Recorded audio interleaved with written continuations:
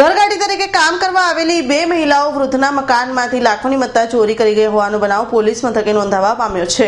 Kadodara police પાસેથી મળતી માહિતી મુજબ વેસુ વીઆઈપી રોડ ખાતે આવેલ ઓફિરા બિલ્ડિંગમાં રહેતા ભોજરાજ ફુંગવાને નોંધાવેલી ફરિયાદમાં જણાવ્યું હતું કે તેઓના ઘરે ઘરગાડી તરીકે કામ કરવા આવેલી બે મહિલાઓ બેડરૂમમાં મૂકેલા કબાટમાંના સોનાના અને ચાંદીના દાગીના તથા રોકડા રૂપિયા મળી એક લાખ સાઠ હજારની મત્તાની ચોરી કરી ભાગી છૂટી હતી.